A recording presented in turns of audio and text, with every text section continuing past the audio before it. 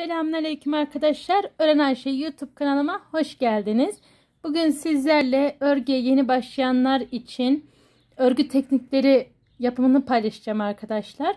İşte zincir nasıl yapılır, sık iğne nasıl yapılır, e, çakma trabzan, ikili trabzan, üçlü trabzan nasıl yapılır? Genel anlamda bunlardan bahsedeceğiz. Yani e, videomuz tamamen bir eğitim videosu.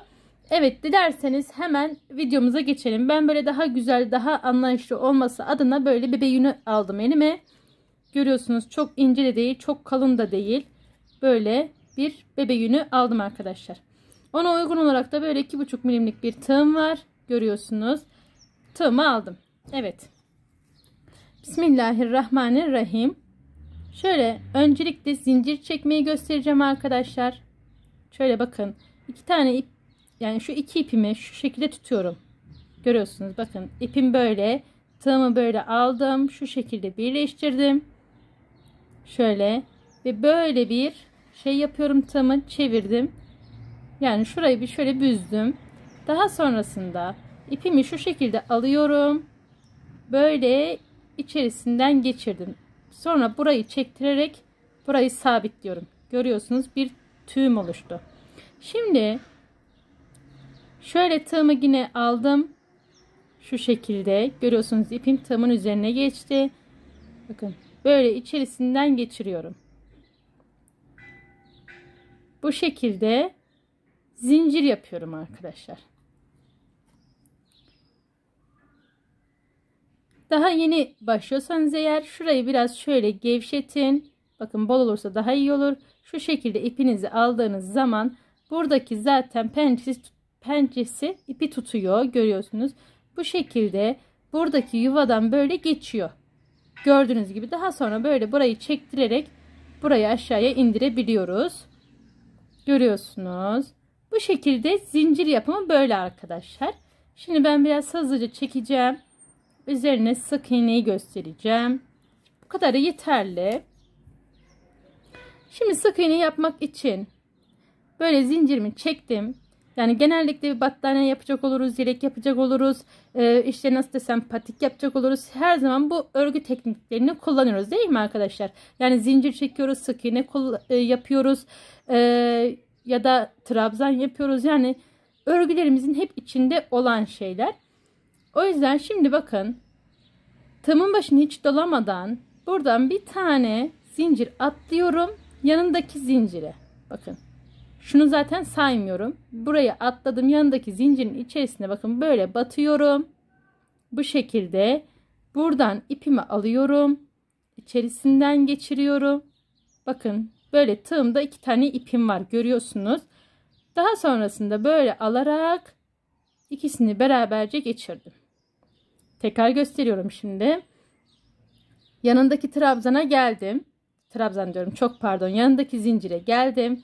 Bakın bu şekilde zaten iki tane ip gözüküyor. Böyle tam ortalayacak şekilde battım.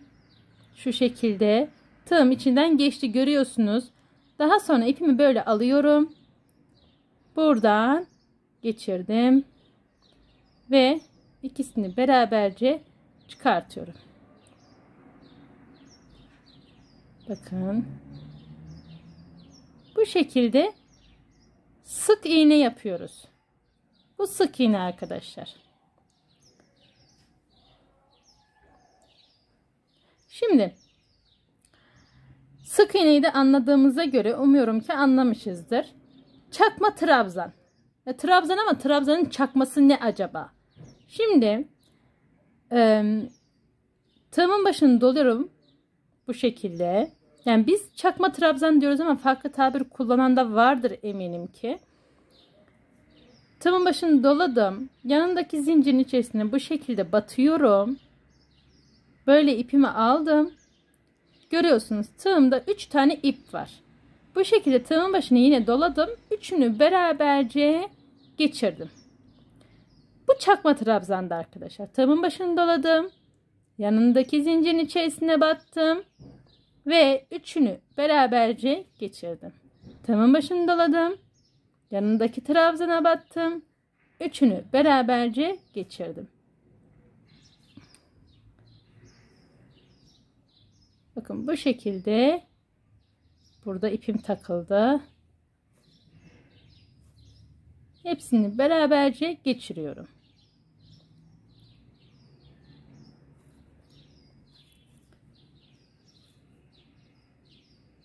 Evet. Görüyorsunuz. Şimdi çakma trabzanı yaptık. Bir de normal trabzan yapalım. Normal trabzan nasıl oluyormuş acaba? Çakma trabzan dedik ama trabzan ne onu bilmiyoruz ki. Şimdi tığımın başını doladım arkadaşlar. Takip eden zincirimin içerisine batıyorum. Bu şekilde ipimi aldım. Tıpkı çakma trabzandaki gibi görüyorsunuz 3 tane ilmeğim var. Tığımın başını doladım. 2 tanesini beraberce geçirdim. Bakın 2 tane ipim var tığımda. Ve en son olarak ikisini beraber geçirdim. Bu ikili trabzanda arkadaşlar. Yani aslında daha çok kullandığımız trabzan bu. Tığımın başını doluyorum. Bakın 3 tane şu an. Bu şekilde aldım. 2 tanesini geçirdim. 2. Tığımın başını doladım. 2 ipin de katı açılıyor. 2 Tığımın başını doladım. Takip edine battıktan sonra 2 ve 2 görüyorsunuz bakın. Kademe kademe. Zaten örgüde de kendini belli etti. Bakın burası küçük oldu.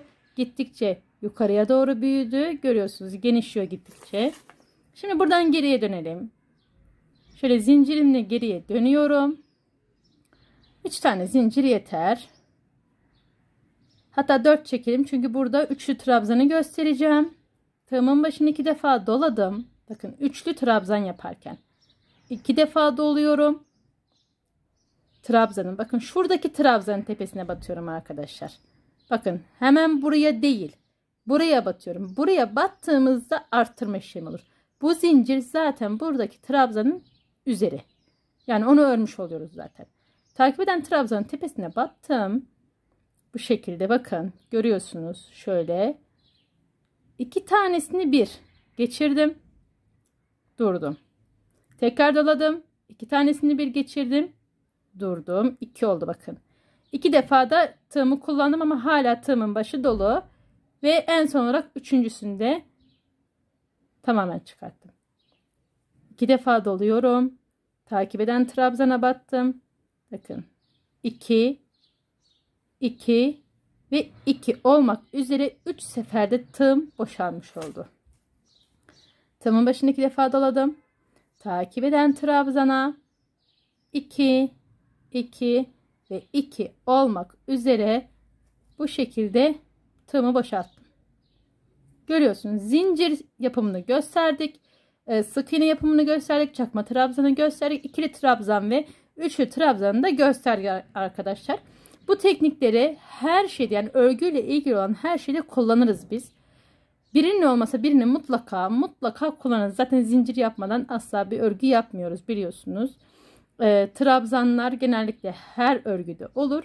Özellikle yelek model, modellerinde, battaniye modellerinde, e, çakma trabzan, patik modellerinde çok kullanılır. Evet bilmeyen arkadaşlarımız var ise ee, onların da öğrenmesi amacıyla bu videoyu çekmek istedim arkadaşlar. Umarım verimli bir video olmuştur. Ee, sizler de beğenmişsinizdir. Beni izlediğiniz için teşekkür ederim. Bir sonraki videolarda buluşmak üzere inşallah. Allah'a emanet olun. Sevgiyle kalın.